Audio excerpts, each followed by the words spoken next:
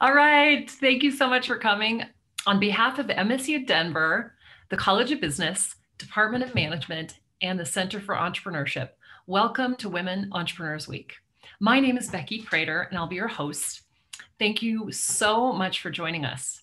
Um, today, we are super fortunate to have with us one of my really good friends, Ginger Grinkmeyer.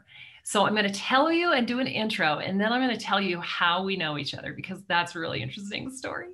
Okay, so Ginger is a working artist with a thriving community of followers. She started with a picture frame, with picture frame designs, and worked with an importer to begin with. It grew quickly into a retail business with a shop and studio in Florida, and then expanded into a wholesale gift art design and production and supply studio. So the key here is this wholesale gift art designs. So we're going to go into that more specifically in a second because that's very unusual. So Ginger is a multimedia artist working with various acrylic mediums, watercolors, ink, fabric, resin, paper, pastels, and occasional cool things she finds lying around. Most importantly, Ginger embeds in every piece soul and intention, meaning and symbolism, texture and balance to move people, inspire them, and remind them of this beautiful world and the love that surrounds us. So, the very coolest thing about Ginger is that she and I met each other tw- like, oh my God, like 26 years ago or something, 25 yeah. years ago. Um, I was working at, in a snowboard clothing company and I was managing our riders, you know, our team. And Ginger was one of our professional snowboard boarders or whatever, however you'd say it. And so we traveled around together a bit and had so much fun in that industry. And then we both had kids and life changed and we got serious and settled down and here we are. Different than that. but still with a sense of, of um, kind of seeing the world differently than other people. So I appreciate you so much for all that. Okay, so I would like you to tell us about your business, kind of how you got into it. Like, what was your transition from snow professional snowboarder to artist? Did you study it? Did you fall into it? Tell us all about that and kind of what inspired you to start. Okay, well, so when we were living out in Colorado and I was snowboarding and would have like 140 days on the hill for a couple of years in a row and that was really fun. A Lot it was just a ton of fun, ton and tons and tons of fun. But at a certain point, I realized partly because of my age, probably, and also partly because at the time there were no like so few professional women who were snowboarding. And like we literally knew like two or three various women's names were known compared to the number of guys. And so basically, what it led to was I wasn't receiving enough out of it. I was receiving joy because it was so fun, but I knew that it wasn't um, a career option for me like it was at the time for boys. And um, and even that, it was so still like minimally monetized that I wanted to go back to school. So we moved back down to Boulder, and I actually um, uh, graduated from University of Colorado with a degree in kinesiology and applied physiology, which has absolutely nothing to do with art. um, however, in my experience over the years, what I've learned is there is a direct relationship between people who are in the medical field and art being artistic and creative a lot of times not always but a lot of times. I think i think it's just being a detailed person. So um anyway i've figured that out along that way along the way with conversations. But um we left colorado and we moved to birmingham alabama for my husband with his business and i decided to forego medical school and uh, we started we had our oldest daughter and um, I was bored while she would nap, and and I had already started designing um, and making stationery, whether it be for like we I even helped uh, make our wedding invitations years before that, and I'd always make our Christmas cards and various holiday cards, but hadn't sold anything yet. And then when we lived in Birmingham, I actually started selling my stationery.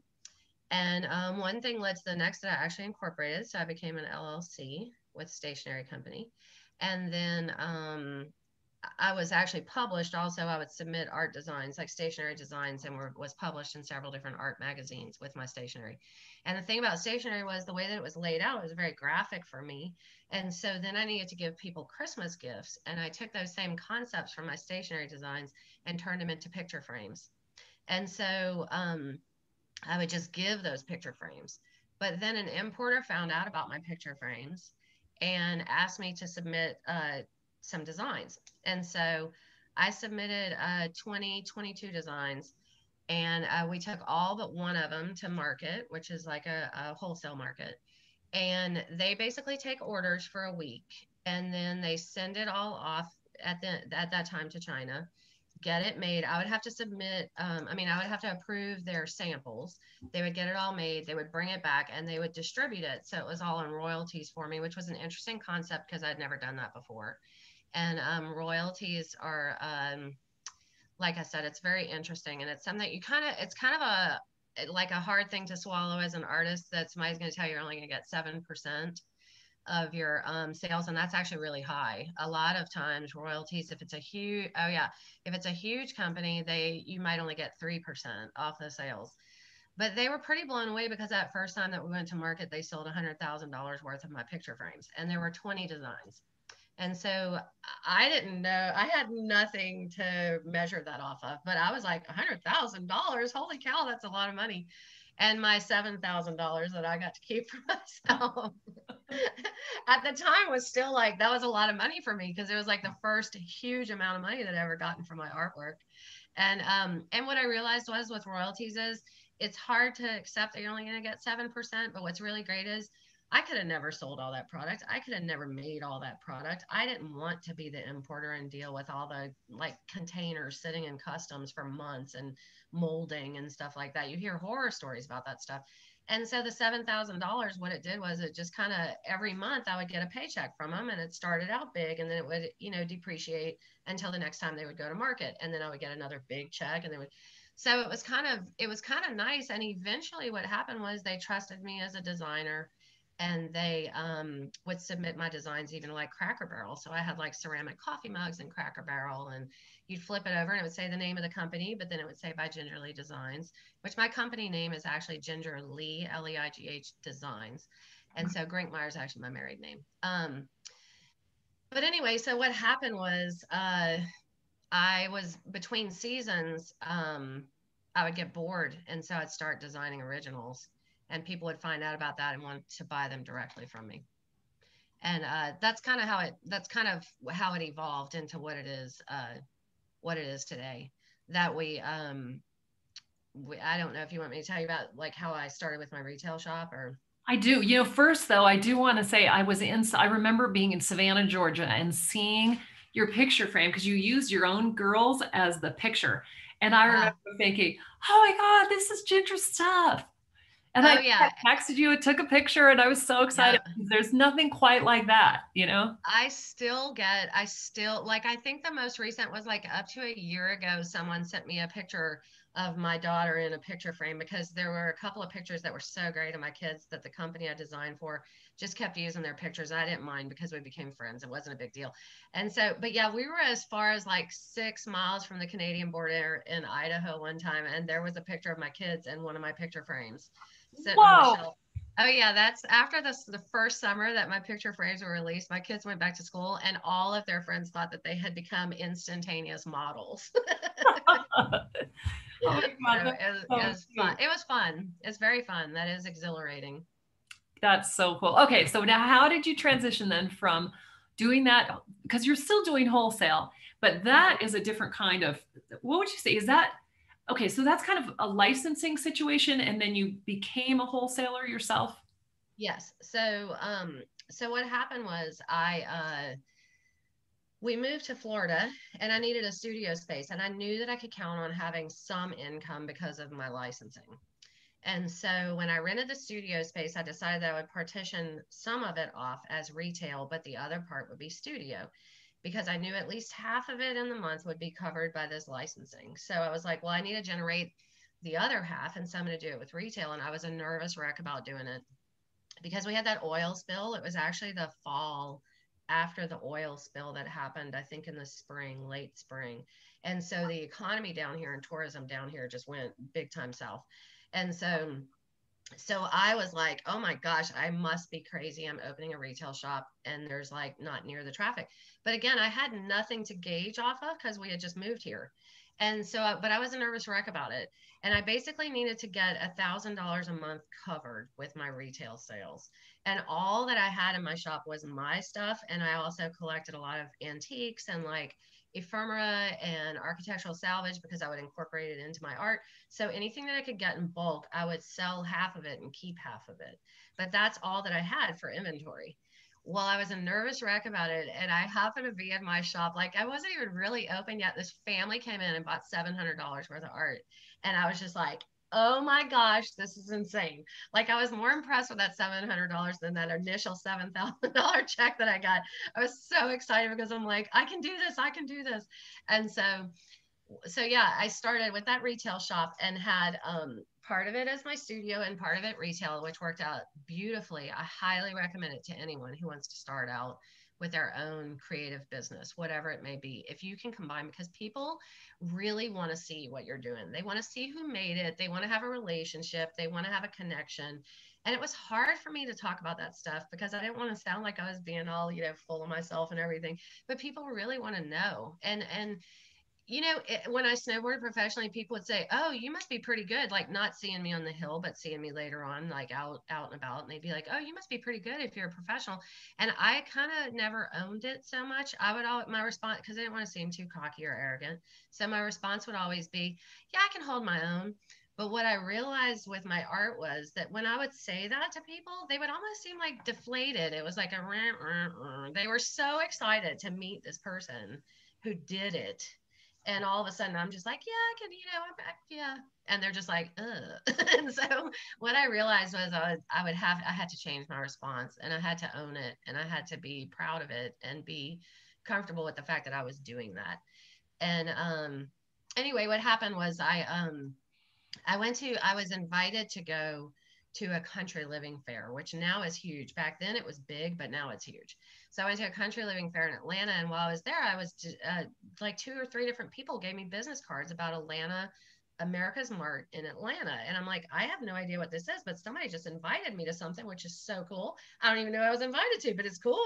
and so, so I hemmed and hawed, and this was in October. The show was in October. I hemmed and hawed the entire time through November the first half of December, and this one woman kept reaching out to me from America's Mart. And I finally was just like, you know what? Fine, I'll come. Well, so she, the only booth that they had available was in this back corner on the back side of the bathroom cubicle thing. It was three feet deep and 20 feet wide, and I could go as high as eight feet tall. And again, I had nothing to gauge off of if this was good or not. I had already been doing festivals, so I knew how I set my stuff up, but I didn't know. Um, is everything okay? Yeah, there was just okay. some weird glitch. Okay. okay, go ahead. So, um, so I didn't know. I I didn't know what I was going to do with this flat, long wall. I was just really confused by it. And um, you actually years ago told me when you were doing shows you actually told me, and I don't remember the exact percentages, but you told me that like 85% of the time, let's say that people spend at a trade show is meeting their appointments, going to the showrooms that they know they already like or that they're already interested in, or whatever it may be. And like a super small portion of their time is spent finding new products and just stumbling upon them. So you have to gain, get their attention immediately as fast as you can. You need to get their attention. It's all about first impressions. And that super flat, wide, not super tall booth, if you will, was the biggest godsend for me in wholesale that I could have ever asked for.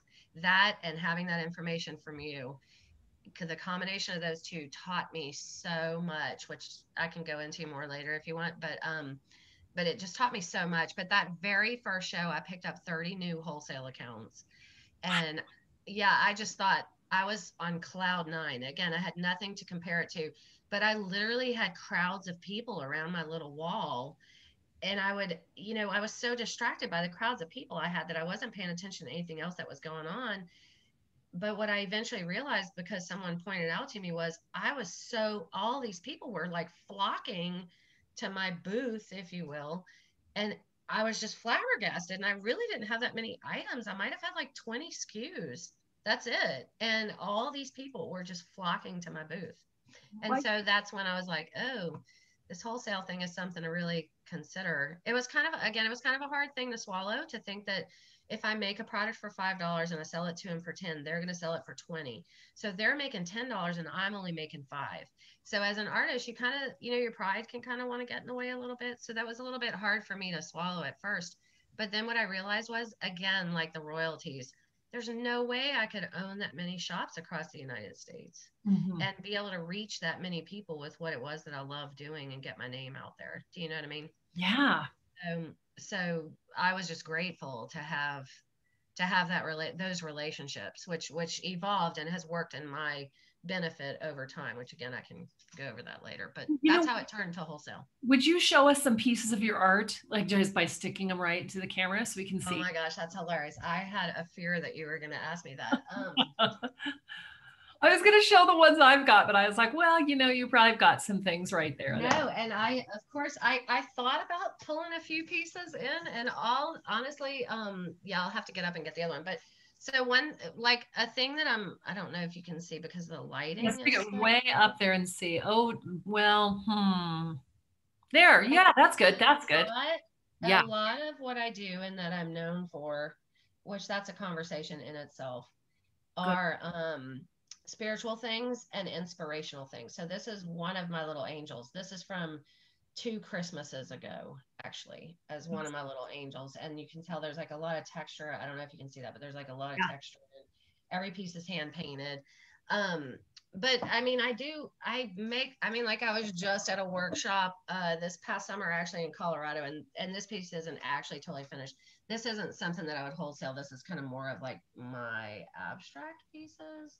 Oh, yeah. But everything that I do, you can tell they kind of have a lot of like meaning and um, symbolism in it. And honestly, before I start anything, even if we're making a huge batch, mind you, over time, it turned out that um, I mean, I think the most I ever made of any one piece was ornaments because we sell a ton of ornaments. But I want to say that we had to make like 9,000 of this one ornament. And we actually sold eight different ornaments that year. But we had to sell, we had to make like 9,000 of the same thing over and over and over again. Yeah, it was insane. Between like August until like December 15th, people are still like, please just ship it. It doesn't matter. We'll sell it after Christmas too, and blah, blah, blah. And so, um, yeah, and it, it at the time, you know, there was a lot going on between the oil spill and then also there was like a housing market crash in 2008. So when this all occurred was like, uh, I had I had already been painting my angels and crosses and little hearts and flowers and all this stuff for um for probably you know like two years before two and a half years before we moved here outside of even my licensing work. Um but um so that was like in 2010 that we moved here. So the housing crash had happened and um you know it's one of those things when when tragedy occurs there's kind of a standard thing that we i don't know if this is southern thing or in general um but people either turn to jesus or budweiser one or the other usually unfortunately unfortunately. And i wasn't trying to capitalize on on selling uh religious or spiritual things. It's just kind of it's just kind of what i don't know. It's just what happened. I can't i can't i can i don't know. It's just what evolved. It all happened organically for me and it i just kind of followed my gut with it. So Whoa. Okay. So, um, so it's okay. So tell me. Oh, I have so many questions about this. Like, I want you to share. Yeah. One of those is I'd like you to. T- uh, so, how does a person like you make nine thousand things that are one of a kinds? I mean, it seems like that makes sense going over to China and having them do it based on your design. But you actually sell things as you having done some part of it, but you're not doing all of it because you've got some helpers doing the things that are necessary but less so about the image or tell me about tell us about that. How do you do something like 9000 of one thing? Well, okay, so and then and and when we did that nine thousand that particular year, um, we sold uh forty five thousand pieces of art went out of our warehouse, and um, so that nine thousand was just a portion of that, but um, we yeah, so I obviously I definitely can't do every one of them from start to finish. I am the owner, I am the only designer. And so I design everything, which again was a hard thing to swallow. When I started with when I started doing the wholesale, so that first show I picked up 30 accounts. The next show I would jumped up to like picking up 45 accounts and I progressively got better and better booth spaces because because I was kind of a hot item, if you will. And so they would give me better and better booth spaces. Plus, I had the money to pay for better booth spaces. So by I think the fourth time I went to market, I was I was up to like 140 wholesale accounts. Um, the most that I ever got to was like 450 wholesale accounts, and so um, yeah, yeah, a lot. And not all of them order tons and tons. Like some of them might only order a thousand dollars worth in a year. And we always would zip code protect, so there wasn't anybody else in their zip code that had the item, so it kind of kept it a little bit more special. Well, so um, in order to do that, like I said, it was kind of a little bit of a hard thing to adjust to also as an artist is um, letting go of some of your process and being willing to delegate. And um but i obviously i couldn't make them all myself. And i was extremely fortunate to have key people fall into my lap to help me with my business particularly with pr- the production side of things and and then additionally with like the administrative side of things i had a lot of key people and eh, just side note, my dad has, all I grew up with my dad being a carpenter and he's always been involved with the business with me. And so he would always go buy all the lumber. He would cut all the lumber. He drills a hole in the back so they can hang on the wall of every single piece.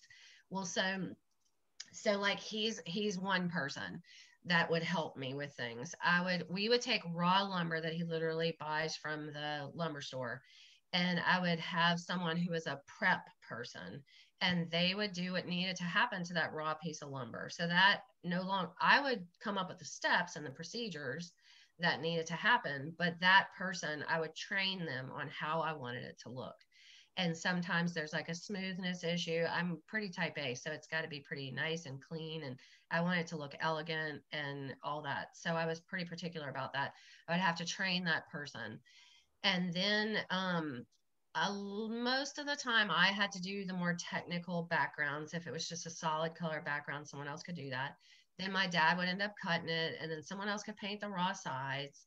And then um, I had uh, one lady who's helped me for years, and she's like my second mom. And she would do all the palette knife work because the palette knife is really the hardest tool to wield that we use. But at one point, like that year that we sold 45,000 pieces of art, I actually had up to 15 people working for me. And um, yeah, and I, I could, there were certain pieces and certain steps that only I could do because I was never able to train anybody else to do it the way that I liked it. But um, other than those pieces, those specific pieces, I mostly became quality control. And of course, I sign every single piece, and almost every single piece I have to do something on, in mm-hmm. addition to just being the designer.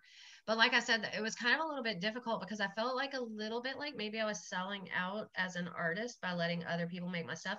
But then I realized really quickly that, you know, Ralph Lauren doesn't make every single piece that goes out of his shop. Mm-hmm. In fact, he doesn't even design every single piece anymore. He might critique the designs or you know adjust the designs that his trusted designers make for him so that he puts his own personal stamp on it but it still says ralph lauren Mm-hmm. And it's like, you know, Ansel Adams got so much crap for like, you know, digitally adjusting his photographs and stuff like that. And it's like, you know, that was going to happen eventually. But back then it was like an atrocity that he would do that. And Peter Max, I guess, supposedly would have other people help him paint some of his stuff and then sign his big old Max on the painting. And it's like, oh God, I live in a small community with very, very well known artists in our area and I was like, okay, I kind of need a pick. I either do this small wholesale gift art and be known across our country, or I'm really well known in our area and I only paint large paintings that are, you know, between two and twenty thousand dollars, but are only sold to very specific people. And so yeah, I had to take on a group of people to help me with it all. I definitely don't make every single piece from start to finish, but I definitely design every piece. Now, when you went to the trade show, like how much did it cost you to have a booth there, like the small one and then the big one? What was the difference in that? Okay, so when I first started out, um, they put me, which I highly recommend. I've had so many people ask me what where they should go when they start out going to market. But there is a section in a temporary so there it's not a permanent showroom. So there's like permanent showrooms. I mean atlanta market is insane if you ever go. Is one of the most overwhelming things and you're just like i cannot believe there's this much stuff in the world. But it's so overwhelming. But it's also an experience that everybody should have especially if they want to have anything to do with sales of any type of an object. Mm-hmm. but um uh, so when I started out, they have this section in the temporaries on this one specific uh, f- building and floor that's called uh, emerging artists. And a lot of people, a lot of retail shop owners will go to that section because it's kind of the new thing. So on that same floor, there'll be like museum gifts and there will be like, um, you know, uh, uh, import gifts. And so it'll be like you know people will bring stuff from mexico or people bring stuff from india or nepal and all these different places sell these beautiful things but they fall under that classification. Well if i'm a boutique owner and i don't ever think i want to sell anything from mexico why would i go to the you know mexico or imported from nepal or something? Why would i go to that section?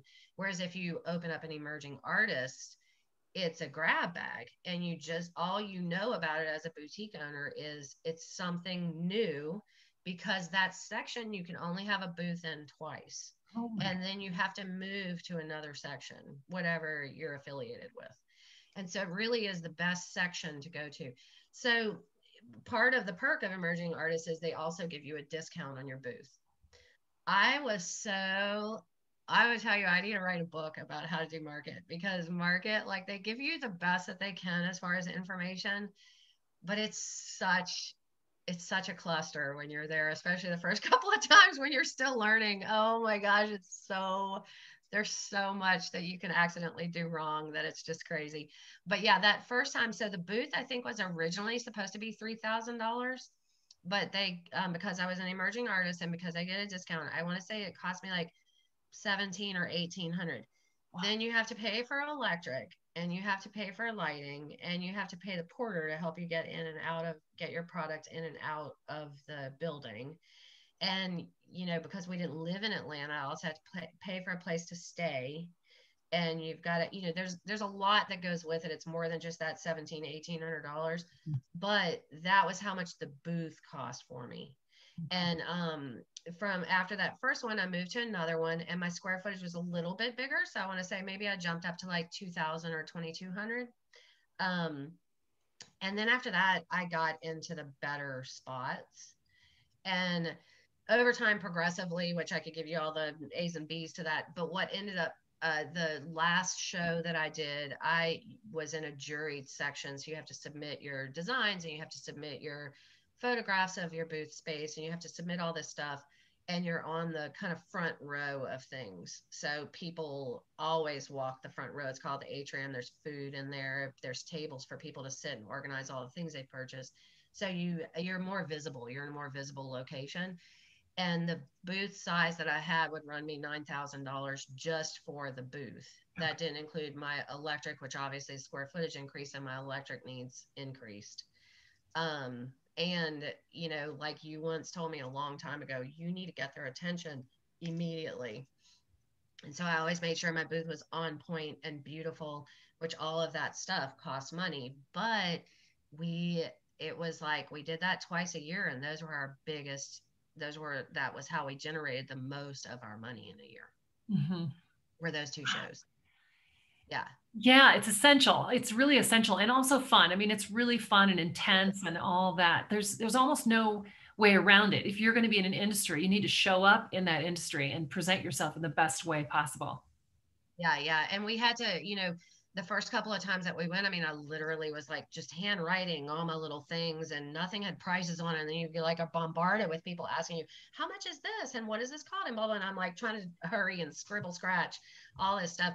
So by my second show, I had a very crude, but a, but an order form.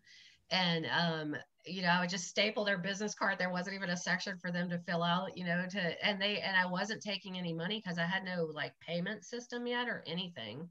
So I wouldn't make them pay me until I was ready to ship, which is a rat race to chase people down to get money from them.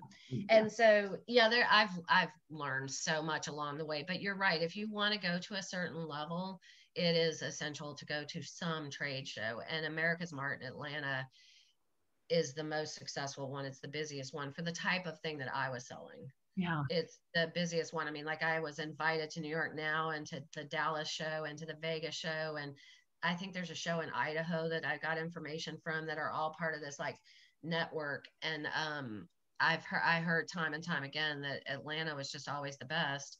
And honestly, I kind of wanted to cap it at what we were doing anyway, because anything more would have gotten overwhelming.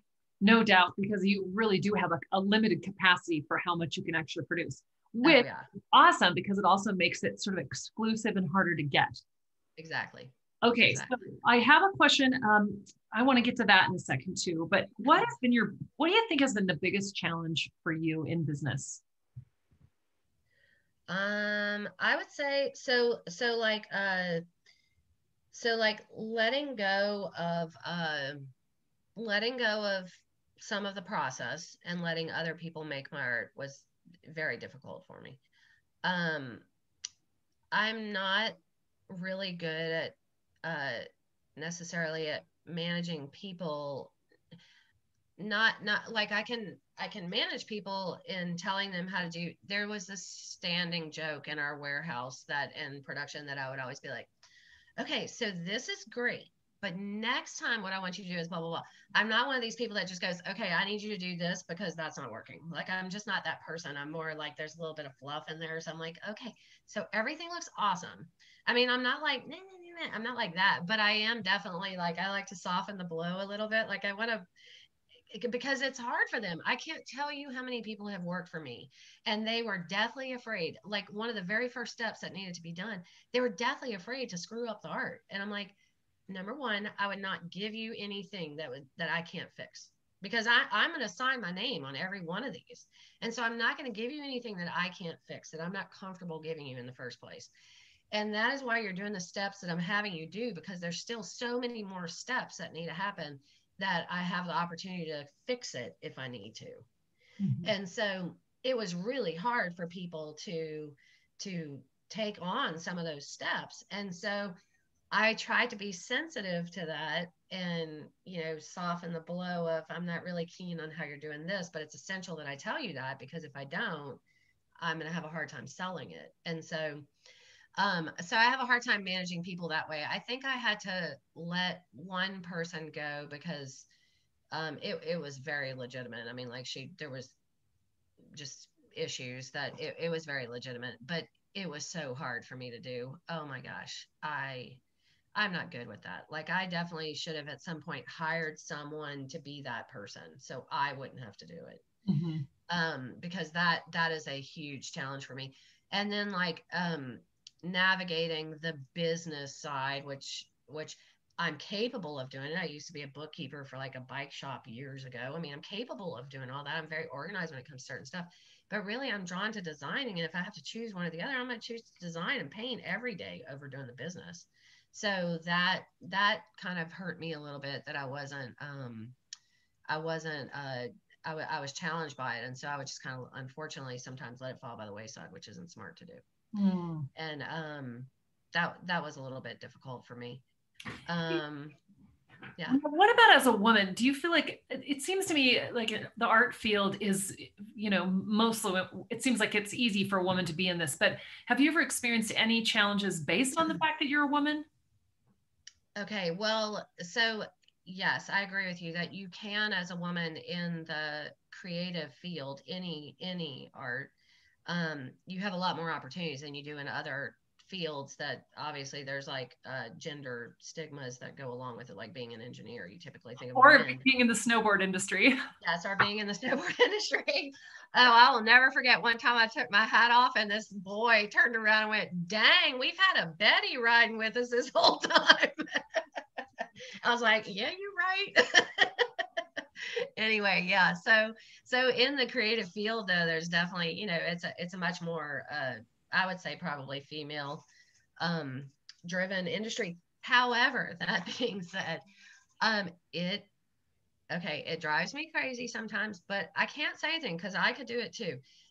There's this thing that most men have. I always go back to like primitive society. We were berry gatherers and they were lion killers. So like I am flabbergasted by the fact that like it's usually men. It's also women a lot of times. I'm not discounting that, so I'm totally generalizing, but so many men will just throw out these giant canvases that are amazing and slap $20,000 on it without even thinking twice about it. Whereas I would be like, oh, who's going to buy that? I mean, like, it's really, and you like, I'm like slicing and dicing it. And they're just so bold to go and do it. It's like, it's like this innate thing that that I would say more men probably have than women. So it's something that I have to overcome. Speaking of challenges, is hmm. being comfortable with slapping my price tag on there because I'm like, I mean, men do it without even thinking twice about it sometimes. Do you know what I mean? And it and it irks my nerves. It irks my nerves. The but you know, like I said, I'm I can make that choice, and so it's not their fault. It's my fault for not doing it too. Do you know what I mean? It's yeah. Like, oh yeah. yeah, and so I would say that that is kind of a challenge, and uh, with with men in the same industry as me. And then another thing that kind of also it, every and my favorite thing in the world is to have a conversation with like um like some of our kids, um, the dads of their friends, or like the male teachers at school and stuff like that. And they'll be like, Oh, what are you doing? I'm like, Well, I'm an artist. I sell gift art. And they're like, Oh, that's cute. I mean, that's cool. That's really neat that that's. That's cool that you're an artist. And, and, you know, and you can make a living off of it or whatever. You, you know, it probably helps out a little bit, blah, blah. And so it's cute. It's kind of cute. And it's like, oh, that's so cute. Look at you. Go, girl. You know what I mean? and then for whatever odd reason, I would say like four or five times, they had to come to my warehouse for some reason. And they're like, oh, this is great. Oh, oh, dang. I mean, like you, there's a whole system here. Like you have a lot going on here and you have a system and there's saws and there's lots of people and there's boxes being picked up by FedEx and all this kind of stuff and they're just like whoa that's really cool. And so I always love I always think it's really neat when people are inspired when they see that kind of stuff but I I it was like priceless for me to see some it's like again I'm generalizing I don't mean that you know in any way anything except that it's usually the men that it would caught them off guard what exactly I do. Do you know what I mean? Yeah. And so since you're asking me a specific question about being a woman and a and a man, it does it's not anything that slows me mm-hmm. down. Like I said, I actually have an appreciation for it because they all of a sudden I gain this new respect. Like I have this credibility all of a sudden when they see the process behind it, that I'm not just some, you know, little girl painting in a studio somewhere. Do you know what I mean? Yeah. Well, I can imagine it would be tempting. I mean, I would, I wonder when I think about how I would respond, would I have said, well, no, actually, I sell a lot of art, not just a little art. I sell a lot of art every year. I might throw out a couple numbers. So I appreciate that you don't do that and you just yeah. wait to let them see. I mean, that says a lot about you as oh, the oh, yeah. humble person. I would say, I would say probably uh, that I can count. I can remember twice um, because it because you just have somebody who's just so arrogant and I don't even think it, in fact, oh my gosh, I know one of the times was not a man. I know for a fact one of the times was a woman. Um, but sometimes when I'm trying to tell people and they just kind of have this air about them, like, oh, that's just so cute. And I'm like going, you know what? I chose over becoming a doctor to be an artist. And I chose to like have children and be a stay at home mom for a period of time. And I chose to, these things were more important to me than the you know the the credibility that you get because of having an md behind your name which is an amazing thing. And i mean like i i love medicine still. Um, but it, it's like you automatically have this credibility because you have this md but when people sit, hear you're an artist the immediate reaction is a starving artist. Like that's just what they assume Yep. And it's and it's so frustrating as the person that that's being assumed about. But I literally had one woman in my shop and um you know, she was just she just had this air about her, and I was so irritated with her. And at the time, I hadn't it, I hadn't hit that point where I sold forty five thousand pieces, but I had at that point already sold twenty thousand pieces in a year.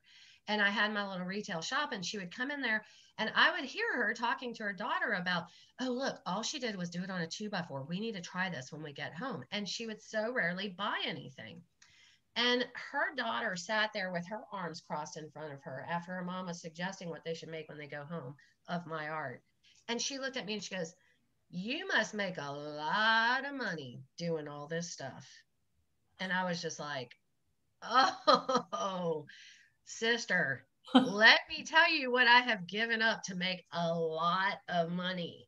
doing all this stuff. I'm like, you, are you kidding me? I'm a business owner. Like, I don't, I don't pay myself what I should be paid. I don't pay, like, you know what I mean? You just, and so, oh, it was so irritating. But yeah, I, that's when I started throwing out. I'm like, oh yeah, you know, I mean, we do sell to 200 shops across country and we shipped out 20,000 pieces of art last year. And, you know, blah, I was just like, don't give me that. you know, so every now and then my weakness does come out where I just want to tell somebody to stuff it. I love that. You know, that's what makes you so remarkable because we do have this mis misinformation about about artists not making money. Hey, I wanted to so so you're at a really interesting point in your life right now. This is like it's almost like my question is going to be what are some key moments when you've pivoted? But right now you're you you did it when you closed your retail store. But it seems like right now you're pivoting in a new way. And i want you to tell about that because this to me is is is like reeling it in and opening your heart to what you really want for yourself. So talk about that. Okay. So so yeah when um i would say that the catalyst was definitely covid although i was thinking about it before it puts a damper on my spirit because a lot of people will um, knock me off, if you will. Um, eh, but but designing for incidentally designing when I design for the importer, uh, you, do you think if you think you're knocked off bad here in the United States by little individuals in tiny towns across America, they can't touch what the potential of being knocked off in a warehouse in China.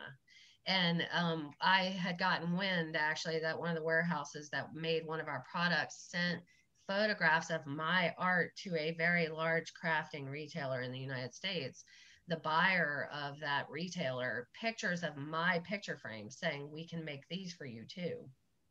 And, and sure enough, it took about eight years, believe it or not. But one of those retailers, they didn't have the same words that I put on my frames, but they had almost exactly the same font and the same look of my frames that I had done eight years before.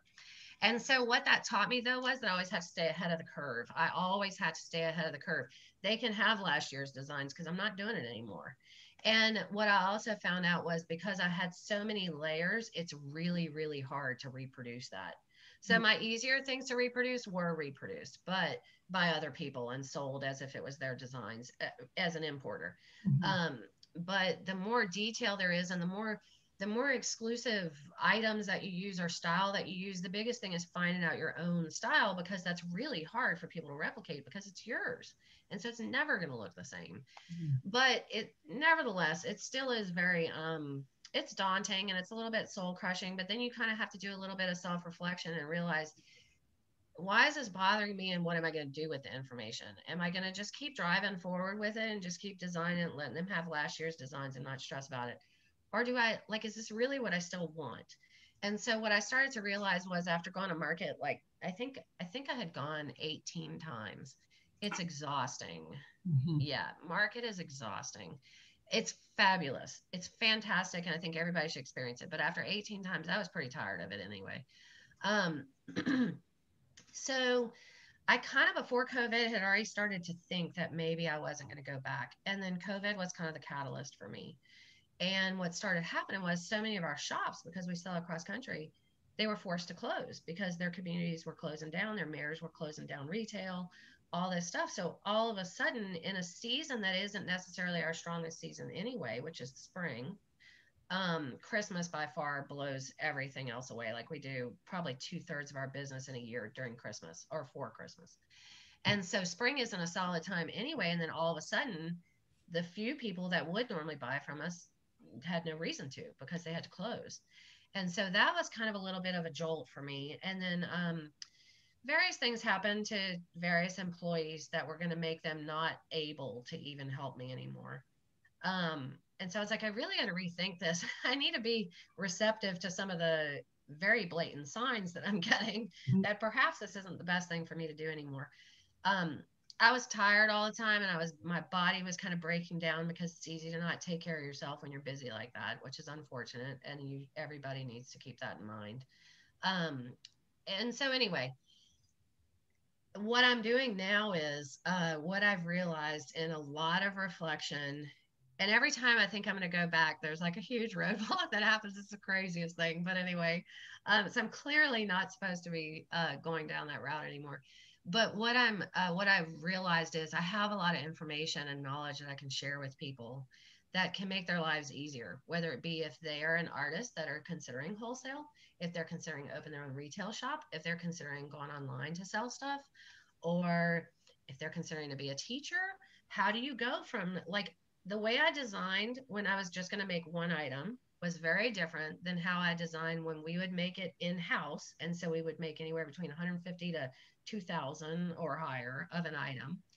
And also is very different than how I designed for royalties because I'm not there to show them the products I used or how I did it. They have to figure it out. And so you have to design differently in hopes of the outcome you're looking for. well, so I feel like I have a lot of information that I can share with people, not to mention just my own design style, like how I do what I do and the products that I use and how I use those products. And so my new thing is going to be that I'm still going to do super minimal wholesale, but wholesale. I would love to sell more direct retail online because people get so much meaning out of what I do. The stories that I hear, I could never let go of. Because, I mean, you know, trauma, joy, tragedy, just all this stuff, people find so much inspiration from the pieces that I sell. And so I don't want to give that up and not make that available for people. So I'll still do some retail online and then I also want to teach as far as like giving people guidance, but also teach design styles and like a specific project that introduces people to new products that maybe they never considered using before. So it's kind of going to be a combination of mm-hmm. a lot of things. I love this. And you know how they have those like wine and draw, like wine and paint things. And you know, you go in and you're all painting the same thing and you pick which of these designs we're going to paint. So when you think of all the different things that you have to paint, you could do a workshop specifically on all those different things. And then for a premium, sell that one piece that you painted on that show. I mean, oh, I think people would go crazy with that. They'd probably yeah, sell, yeah. like pay $250 just to get that piece that they saw you make with your own hands at, during that class that they took. Yes, no, that is very true. Cause I, I haven't been able to do very many workshops, but the workshops that I've done, I've been very fortunate that the workshops that I have done have all been with like very highly regarded artists. And um, and so whenever they have a piece and they're willing to sell it at the end of the workshop, that's exactly what happens is somebody pays a pretty, pretty a pretty penny to get that piece, which I wouldn't be so worried about the pretty penny. It's more of just knowing that somebody wanted to walk away with that, which was my whole thing about saying having your studio in your retail spot. Mm-hmm. It, it, really engages the person and brings them even more meaning, especially if you stop and talk to them and you are, you know, willing to share and stuff like that. You get a little place in their heart that makes them want to take a piece of you home with them. Yeah. And so they're they want to share. And then I mean, I've had people write emails and reviews about that online all the time that it's like now that I've was so nice of you to give me a call. And now that now that I've talked to you personally, like I loved it before, I love it even more now after having talked to you because I can tell you're authentic and genuine and sincere. I love that so much. You know, there's a line in a in a Crash Test Dummies song that says "Get to know the artist and get to know him personally," and that has always stuck with me because I I feel like I don't. I only want art from people that I know. Oh, yeah. And even clothes, like uh, the, my my very favorite designers of all times, I actually have met, and I'm so honored. Like you, you'll That's pay cool. the money when you've actually made that connection with somebody. Oh yeah, totally. It makes such a big difference. I'm thinking of one designer that you and I both love, and when the day I got to meet her, I was just like blown away, and I will never forget that encounter. And she was so so humble and so kind and that's like that's really cool. That's really cool. Oh yeah. Yeah which we've got to go visit her because i need to meet her too. Oh yeah. Oh yeah. I'm hey, in. hey so tell them tell me about what do you guys do about um, sustainability? Do you guys have any sort of like steps you take or concerns you have about that or what do you think about that? Well, for me, with what I do, like we don't, what we produce doesn't produce a whole ton of like negatively impacting uh, like byproducts by any means. Like, you know, the, the byproduct that we have the most of is probably containers that product comes in. Mm. And most of the containers that the products come in, I either need to bring back to the paint store anyway, or I um we can recycle because it's plastic. Um, and then actually I had one girl who who worked for me for a while. They have a camper and she took all of our giant plastic gallon jugs and uh, drilled holes in them and put little Italian cafe lights, one in each jug, and like strung them outside of their their camper, so it would illuminate even more because they're white plastic, and so you know stuff like that. But like in general, um, we don't really have a bunch that like byproducts negatively impact anything. Um, and and our art, it's on wood, and people will either keep it forever, give it to a friend, give it to their kids or you know donate it i guess. I don't know. I don't know exactly what they do. But um, one thing that we did do and uh, i enjoyed doing this and this was probably one of the last times that we did an enormous batch is um, a friend of mine owns a lumber mill a very large um, lumber mill in the south and she's actually a huge advocate politically for um, restricting import of lumber because we don't know what their restrictions are in other countries mm-hmm. and we don't know what quality we're getting we don't know what microbes are in that wood we don't know what you know what is in that that is coming into our country not even just the quality but also introducing random species that we have no idea would impact our own lumber industry and so she's a big mm-hmm. advocate mm-hmm. for that in the united states and um, one of the last batches of wood that i bought we went directly to her mill and picked up you know several i forget what they call it it's not a cord but anyway it's it's a lot a lot a lot of wood. And um you know i i intentionally bought more than we needed knowing that we'll eventually use it anyway. And we stored it at our warehouse and we did get it at you know a less expensive price than if we went to like one of the big suppliers. But way more importantly i was i was wanting to buy us milled and harvested lumber because I know her ethical practices. Every time they clear an area, they're replanting constantly, and she can give you all the ins and outs about how long it takes for a longleaf pine to grow to harvesting size. And so, therefore, you know how so so she creates a very their whole lumber mill is very very conscientious of sustainability. Nice. Yeah, it's really cool. Well, you're right. You can feel good about what you do because those, you know, the the art you create is timeless. You know, when we talk about angels and crosses, anything that has to do with like Christmas and you know our standard visuals of Christmas, like that. I mean, that's the thing people have forever, and then they pass it down.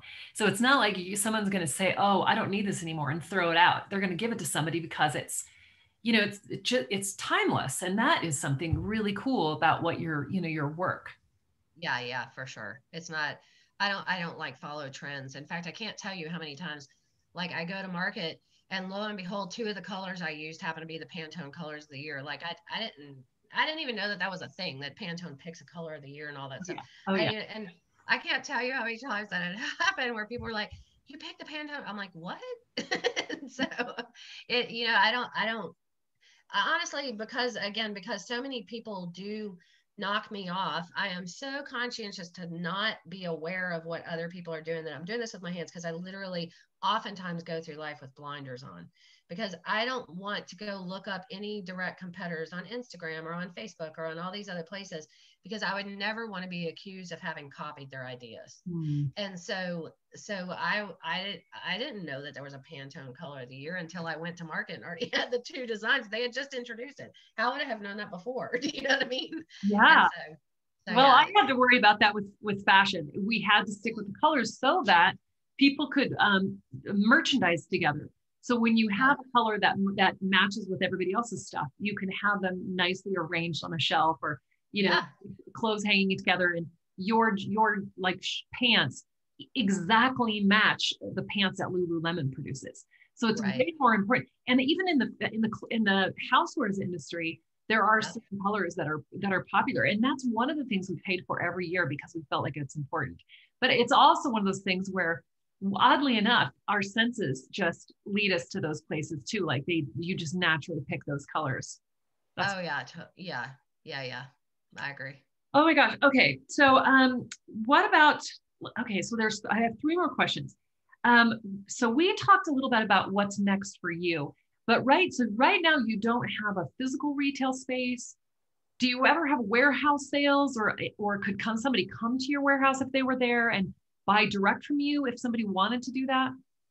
we have had people who, when I had my shop, a lot of people were so disappointed when I closed. It was, it was kind of one of those things that, um, I, I mean, I got some of the best compliments was when people would tell me that my shop reminded me of some of my very favorite shops. It would just be such a huge compliment to be put in that same class of like, you know, aesthetics and feelings and all of that. And so there were a lot of people that were very disappointed when I closed. And I still, in that little complex hear from other business owners, people who have come in and would go in their shop and go, What happened to that precious little shop that was blah, blah, blah, blah? And I closed almost two years ago. And so, um, yeah, that, that was a, that was a hard thing was not having the retail, closing that retail. Um, and uh, wait, say uh, uh, say again. What did like you... like what's next for you? So you mentioned something about this teaching. Oh, yeah.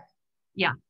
Yeah, yeah. Um, I you know I I would love to have retail again because it was so fun. It was so fun to meet the people, and it was just so it just was really a neat neat thing. But it, it's a big commitment because you have to be there. And part of what made my shop my shop was originally me being there all the time and me i always was the one that merchandised the shop i mean people would help me fill in but it definitely had my style to it my own my own look to it um and i miss that. I miss interacting with the people but also at you know our, our my I'm, we're almost empty nesters and um, we miss colorado a ton. We love florida um, for most most of the year but we do miss colorado a ton. And so uh, you know I guess having that little nomadic gypsy blood inside of me when I uh, when my husband and I were in the snowboard industry and being able to like travel a lot and just kind of just go and do and just enjoy yourself. Um, I uh, we don't shy away from the idea of buying a really cool van and being able to just travel across the United States, go to some of the places that we feel like we haven't explored enough, and go to some of the places that we loved exploring we still love to mountain bike. We're fortunate because we do get to come out to Colorado at least like four times a year and spend a good bit of time there and uh, mountain bike and hike and visit old friends. And, you know, it's great. I mean, we still love that. So I definitely still will, I will always paint. I love the fact that as an artist, you can, you can, and now, especially with like social media, you can always do what you love doing as far as your creative, whatever your creative spirit is um, and so I always joked and said, like, an ideal for me would be like, I don't care if I'm 70 years old, riding my little bike with my little buggy behind me and my little easel and my plein air little setup and with my little puppy dog with me because I do love dogs. So like have my dog with me and just pedaling down to some piazza in Italy and just sit there and paint. And if people want to offer to buy some of my artwork, they can buy it. And if not, I just have a good collection of artwork. in my little portfolio. So I do love the idea that I will be able to do that for my whole life. You know, as a creative person, you can, and so I don't mm. know. Yeah, that's so good. Hey, so so how often? So you're so Ginger Leigh Designs is is really about um, kind of gift art, but I also heard you say at one point the idea of painting bigger canvases and bigger things and one of a kinds and are you, is that something you're going to do a little bit more of or what oh yeah, I when when I had my retail shop, I had a, a floor to be able to sell that on. Oh yeah, and you were saying about warehouse. Yes, every now and then some of these people that were big patrons of my retail shop and were so sad when it closed would find out a phone number or an email or where our warehouse is and all of a sudden we'd have somebody pop in and the next thing you know they're buying artwork just like i mean it's it's a shop like there's like carpentry happening and paint everywhere. and I mean, it's not cute. It's fun and exciting and different. So it's intriguing. But somehow they'll end up buying, you know, a thousand dollars worth of gift art right there. And we just tell them to come back the next day and pick it up. And we'll even gift wrap it for them because we do that when we ship retail anyway. And so we gift wrap it for them. But um, but yeah, I, I when I had my retail shop, I had a bigger like platform to be able to sell those larger one of a kind pieces. And um, I did sell I did sell some of those wholesale when we would go to market. They would they would buy it and we would ship it from there to them, and they were just one of a kinds. And they would pick out specifically the ones they wanted. Um, yes, that is my goal is to do more of that. I also love to um, paint. Uh, I like to go from big to teeny tiny, and so um, and somewhere in between. And so I've enjoyed painting recently a lot, especially when COVID started on paper, and um, a lot of mixed media on paper. And so what's great is um, my one daughter is at school at SCAD right now, and she's really good with like technology and all that kind of stuff.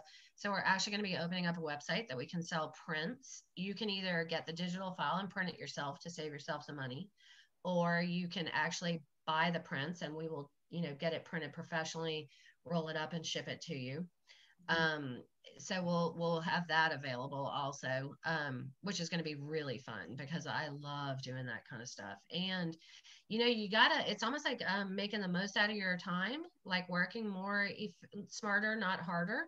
Yeah. That like if I'm going to sit down and paint a painting on paper and be able to record myself, now I have content that can either be you know on TikTok or on stories or in reels or whatever it may be and or I can sell it as a short video or a product idea, you know what I mean? Like show people the products and then show them a quick, you know, video of me doing something and this is what you can do with it, kind of a thing.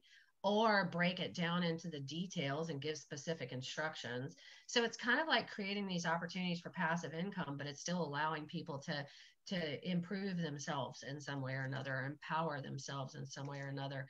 And um, but then of course I would have the original for sale which like you were saying before you know i mean like like you know $95 for a paper you know you know like five by seven uh multimedia abstract piece that you know took me two and a half three hours to make which is kind of a long time for a $95 piece of art.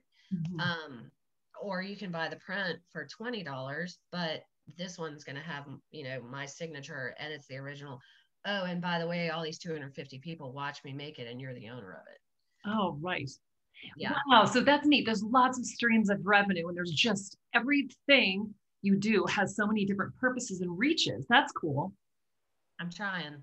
oh my gosh. Well, it sometimes takes the young people to like figure that oh. help us get those fingers out there. Oh, 100%. I can't say enough like for for any any oh golly, you can totally tell why historically major movements always started at colleges usually yeah. or with or at least with that generation because I'm telling you, I when I go visit our daughter, it's like I come back and I'm like so excited to just start something like have this like it's just bubbling up inside of me and it's like there's set there it's just and even when she and her friend, I mean, you can tell in like the candor of my voice, I can hear that. I have goosebumps down my legs right now just even saying this because it's like, it's just so neat. It's so, it, my husband and I had so much fun at the age that she's at now. We just ate life up and we did some crazy, crazy stuff. And like, oh my gosh, I'm so glad my mom never knew what a 40 foot cornice was she had no concept what I was doing when I was snowboarding, but it was so fun.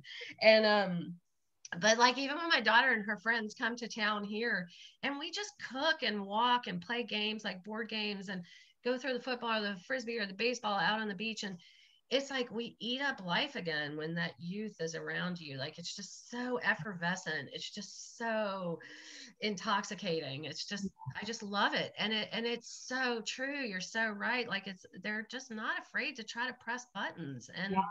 oh i love that. I hate i hate that you require that fear over life over time in life. And it's it's a battle to not let that overcome you. You know what i mean? Like you to just say you know what? No i can still do this it's ridiculous to think I can't. Right. Okay. So this is the perfect time to talk about this. This is kind of our last question. Um, what, okay, so what advice do you give new entrepreneurs starting a business? Because the idea of pushing the buttons, like pushing play and getting people to say yes about something, seems like a really good piece of advice. What else would you say? Well, um, yeah, I kind of actually um, jotted down a few things about that because I uh that that is like so that's what I was saying before that like I feel like I have so much information that I can share because it's so easy to make it so complex and it's so easy to not even know what questions to ask if you're brave enough to even ask the questions. Because I think that so many people think that with um with uh, talking to someone who has an established business that they're never going to want that they would be insulted if you even would ask them some of those questions. And there might be some people out there who are insulted or would be like i can't believe that they would even ask that. I don't know that i would ever say that unless you make a rude comment in my retail shop but i would i don't think I, I don't think that if somebody who was trying to start a business um asked me a question if i would ever like dodge it or be insulted by that Yes. Because I feel like I feel like that's part of my purpose now. Like I feel like if I didn't share that information, I'm actually doing a disservice to myself, but I'm doing a disservice to like that community as a whole because because they'll improve probably on whatever it is that I already kind of have mastered in the way that I could master it, but now it's time for someone else to take it to another level. But mm-hmm. I definitely um I definitely would say this that um, it's easy to get caught up in all of what we conjure up as our expectations for how things are supposed to be done or what we think is going to be the outcome.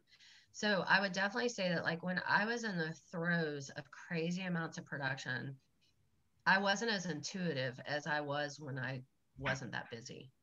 And so I've learned that when I start to get too wound up about something, and you know that feeling, you start to get too wound up about something, it's exactly the moment where it's counterintuitive, but I need to stop and sit down, calm down, either like let my bl- mind go blank or be open, however you want to look at it, and just kind of reflect on what's going on and what my purpose was when I started it and where I want to take it. And then from there, just kind of be willing to listen. And don't look for affirmation of what you think would be the best thing because it's easy to fall into that trap. Like really listen about what whoever you may want to call it the universe nature mother earth god buddha whoever it may be. Really be willing to listen to what you're supposed to do because we're all supposed to contribute something. And no matter how fearful it may be or you may be of that thing it's like you'll be given the tools that you need and the strength and the courage that you need and the bravery that you need to be able to do what it is that you're supposed to do because it's what you're supposed to do. Mm-hmm. And so it's going to work some way or another. What you thought was your intention maybe won't work and then all of a sudden you realize that oh my gosh something better happened.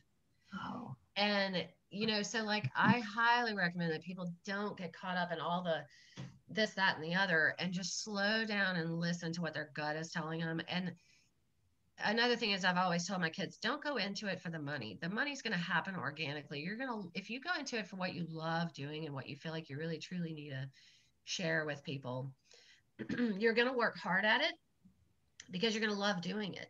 You're going to sell it because you love what you're doing you're going to like want to share it because you again you love this thing. It's so exciting for you.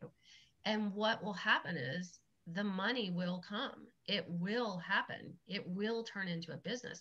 You need to be fair with yourself and like you definitely need to be aware of what you deserve to get but be realistic about what that number is. If they're if you're comparing your work to an established artist that's been painting for 20 years and in your area is charging $2,000 for a 24 inch by 24 inch canvas. It's really hard, but don't fall into the trap of thinking that you're going to get that same money. And so, because you're so new, they've been around forever. Just do it because you love it. Put a find out what your goal is. If you're trying to get more people to know about you, then maybe in the beginning you're not going to make the same money that you'll make in 10 years because so many more people know about you but you have to kind of let that evolve naturally and do your best to like not compare yourself to these other people because they maybe have been doing it so much longer than you. Mm-hmm. so you know one thing let, it, let it happen organically. Yeah i love that. Hey one of the things i think that's so so incredible about you and your art is that you do this is i feel like this is so unusual.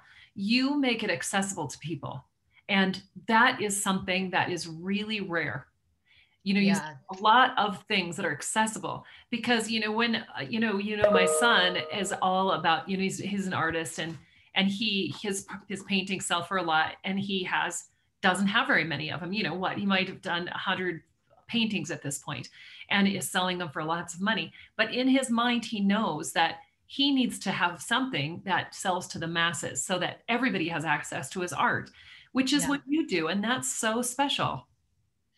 Well, I think because when I first started all of this, I again I wasn't in it. It wasn't for me. It wasn't about the money. Now, granted, I had the luxury of not having to, you know, be the breadwinner in our household. I definitely did have that luxury. But even if you do need to make the bills, you can totally do it. You just have to like go go to festivals. You need to be creative with how you're going to do it. Go to festivals or sell prints instead of just originals because it's important to have something for everyone, especially if part of what you're selling is yourself, because they want to leave with something of you. They're so impressed with it. And if the cheapest thing that you have that they can buy is a $100, not everybody can buy a $100 piece of art. But if you have something that's $20, they'll be thrilled to have it. Mm-hmm. They'll just be so excited. I one I mean I've given away art. I've I've just so many different people. One time I had this precious little girl in my shop and she was carrying around this piece of art and she was just so excited because she wanted to buy it for the people who took her to the beach. She was with a friend at the beach and she wanted to buy this little piece of art for the family that invited her to go with her, all of her own accord. And so she came up with this little angel and it was $18. And she told me she didn't know she had enough money. And I said, Well, how much money do you had have? And she had a five dollar bill. And so I I didn't want to just give it to her because this was really meaningful to this little girl. I could tell that this was something that she wanted to give to them from her heart. And so I backed out the taxes so that her little angel came out to $4 so she could still get some change. And I wrapped it for her like it was like a $150 piece of art in cellophane with raffia and all the scrunchie at the bottom and gave her a little tote bag so they couldn't see it yet until she was ready to give it to him. And oh my gosh, that little girl was on cloud nine. It just made her day. I mean, and I've done this long enough now that it's like I have people who were kids whose moms collected my art and now they're married and they're having their first baby and they want their own piece of art for their baby's bedroom. Oh. That like it's just really sweet. And so even just like brand new people starting out with their homes, you know, that can't afford the last thing you're gonna do is buy art you know, you need towels and a blender.